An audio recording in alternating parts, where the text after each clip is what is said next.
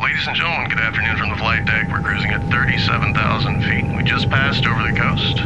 We'll be beginning our descent in about uh, 30 minutes. I'd like to take this opportunity to welcome you to America.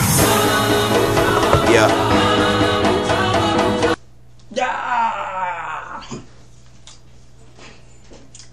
Plowing my fields. I love plowing my fields. By the way, what are you doing to my crops?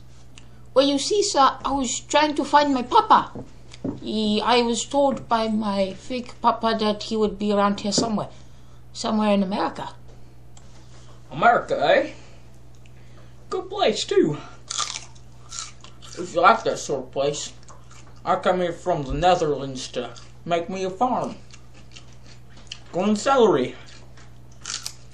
Pretty good, too. What is the celery? Is it good? Sure is. Here, get you some.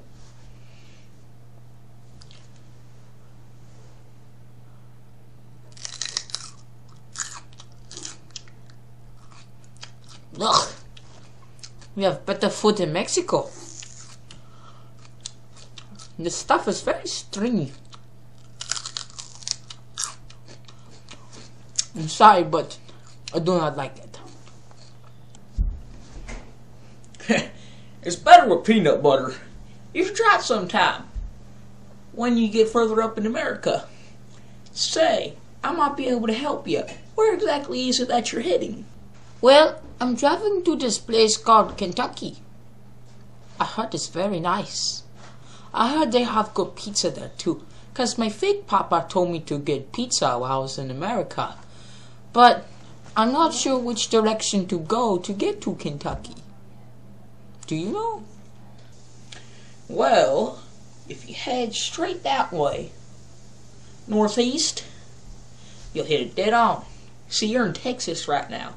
I've been to Kentucky plenty of times for many cattle shows, uh, gardening competitions, stuff like that. It's a very nice place, very beautiful. They got some cool stuff down there called bluegrass and yeah, it's pretty nice. Just head straight northeast. You'll be there. Well, in a while. But don't be discouraged, son. Just head northeast and good luck to you. Bye bye. See ya, friend.